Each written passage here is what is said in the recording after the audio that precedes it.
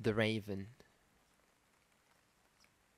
Once upon a midnight dreary, while I pondered, weak and weary, over many a quaint and curious volume of forgotten lore, while I nodded, nearly napping, suddenly there came a tapping, as of someone gently rapping, rapping at my chamber door.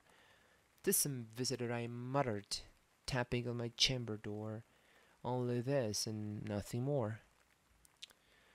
Ah, distinctly I remember it was in a bleak December, and each separate dying ember wrought his ghost upon the floor. Eagerly I wished the morrow.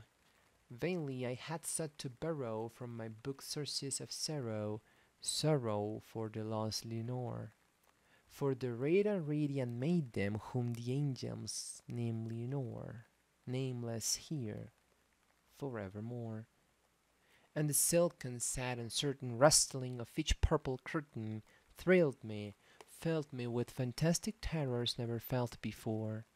So that now, to still the beating of my heart, I stood repeating, uh, This some visitor entreating entrance at my chamber door, some late visitor entreating entrance at my chamber door. This it is, and nothing more. Presently my soul grew stronger, hesitating then no longer. Sir, said I, or uh, Madam, truly your forgiveness I implore. But the fact is I was napping, oh, so gently you came rapping, and so faintly you came tapping, tapping at my chamber door, that I scarce was sure I heard you. Here I opened wide the door, darkness there, and nothing more. Deep into the darkness peering, long I stood there wondering, fearing, doubting, dreaming dreams no mortal ever dared to dream before. But the silence was unbroken, and the stillness gave no token, and the only word there spoken was the whispered word Lenore. This I whispered, and the echo murmured back the word Lenore merely this and, and nothing more. Back into the chamber turning, all my soul within me burning, soon again I heard a tapping, somewhat louder than before. Surely, said I, surely that is something on my window lattice. Let me see then what the threat is, and this mystery explore. Let my heart be still a moment, and this mystery explore. 'Tis the wind, and nothing more. Open here I flung the shutter, when with many a flirt and flutter in there stepped a stately raven of the saintly days of yore. Not the least obeisance made he, not a minute stopped or stayed he, but with mien of lord or lady perched above my chamber door, perched upon a bust of Pallas just above my chamber door, perched and sat, and nothing more. Then this ebony bird beguiling my sad fancy into smiling by the brave and stern decorum of the countenance it wore.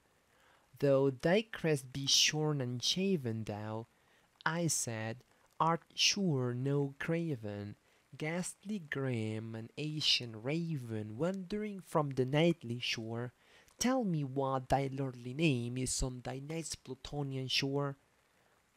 Quoth the raven, Nevermore. Much I marvelled this ungainly fowl to hear discourse so plainly, though its answer little meaning, little relevancy bore for we cannot help agreeing that no living human being ever yet was blessed with seeing bird above his chamber door, bird or beast upon the sculptured bust above his chamber door, with such name as Nevermore.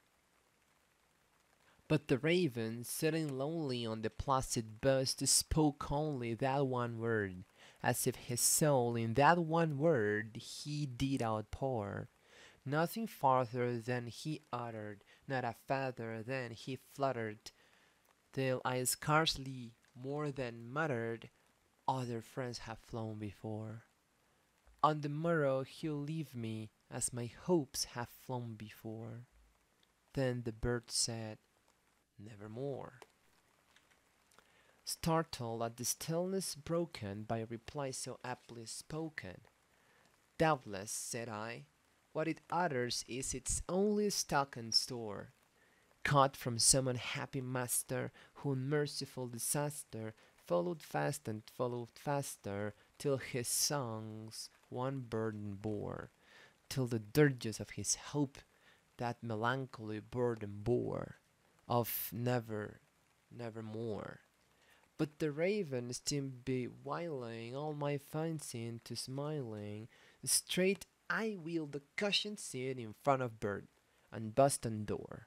Then upon the velvet sinking, I betook myself to linking fancy unto fancy, thinking what this ominous bird of yore, what this grim, ungainly, ghastly, gaunt and ominous bird of yore meant in croaking nevermore. This I sat engaged in guessing, but no syllable expressing, to the fowl whose fiery eyes now burnt into my bosom score. This and more I sat divining, with my head at ease reclining on the cushion's of velvet lining that the lamplight gloated over, but whose velvet violet lining, with the lamplight gloating over, she shall press. Ah, nevermore. Then methought the air grew denser, perfumed from an unseen censer, swung by seraphim whose footfalls tinkled on the tufted floor. Wretch, I cried, thy God hath lent thee by these angels he hath sent thee respite, respite and thee from thy memories of Lenore. Quaff, oh, quaff this kind nepenthe, and forget this lost Lenore. Quoth the raven, Nevermore. Prophet, said I, thing of evil, prophet still, if bird or devil, whether tempter sent, or whether tempest tossed thee here ashore, desolate yet all undaunted, on this desert land enchanted, on this home by horror hunted, tell me truly, I implore, is there is there balm in Gilead? Tell me, tell me, I implore. Quoth the raven, Nevermore. Prophet, said I, thing of evil. Prophet still, if bird or devil. By that heaven that bends above us, by that God we both adore, tell this soul with sorrow laden, if, within the distant Aidenn, it shall clasp a sainted maiden whom the angels name Lenore clasp a rare and radiant maiden, whom the angels name Lenore. Quoth the raven, Nevermore. Be that word our sang apart in bird or fiend, I shrieked, upstarting. Get thee back into the tempest and the night's Plutonian shore. Leave no black plume as a token of that lie thy soul hath spoken. Leave my loneliness unbroken, Quit the bust above my door. Take thy beak from out my heart, and take thy form from off my door. Quoth the raven, Nevermore.